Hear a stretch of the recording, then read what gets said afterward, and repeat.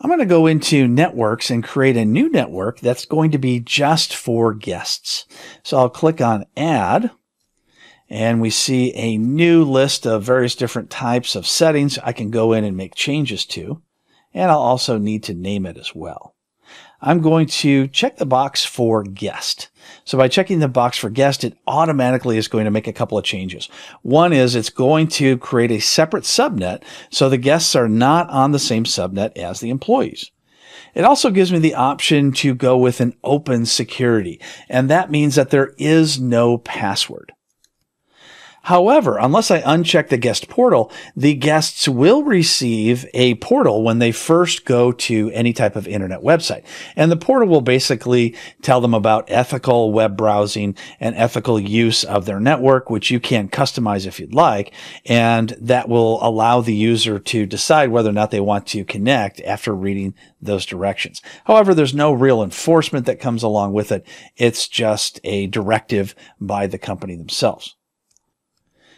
Then we see this other option for Wi-Fi enhanced open. And what that is, is it creates an encryption for the data traffic between the client device, say the mobile phone, the tablet, or the laptop using Wi-Fi, and the wireless access point. In this case, it would be an Aruba access point. So any traffic between those two will be encrypted. So if it's sniffed out, they would have a hard time reading that traffic because it's being encrypted. Now, once it leaves the wireless access point and goes to the firewall, not to the internet, it's no longer encrypted. So keep that in mind that the enhanced open is only going to encrypt traffic between the client and the access point.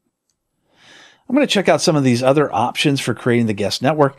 Take a look at the specific to this wireless network default.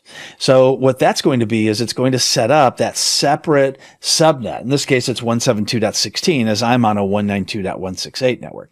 And that means that for guest traffic, it's going to do routing. It's going to route from 172.16 to the internal network and then out to the internet. However, it's not going to allow traffic to any other device other than the firewall to go out to the internet.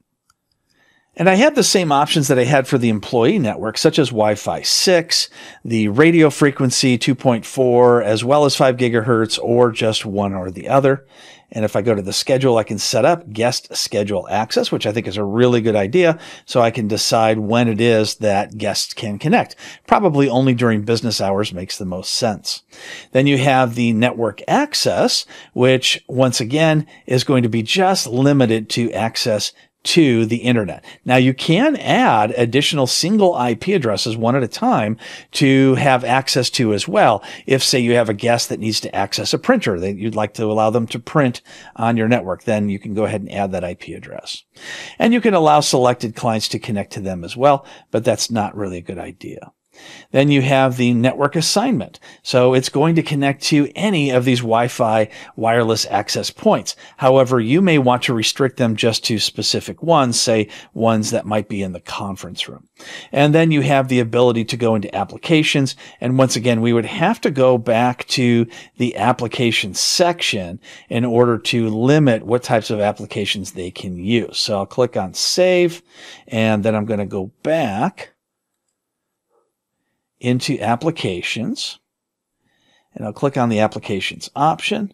So if I want to see full definitions as well as lock out just specific guest access, then I can go ahead and uncheck whatever it is I'd like. Guest access is an excellent way to protect your employee network from any guests that may be connecting, especially if they don't have any type of password that's required for them to connect.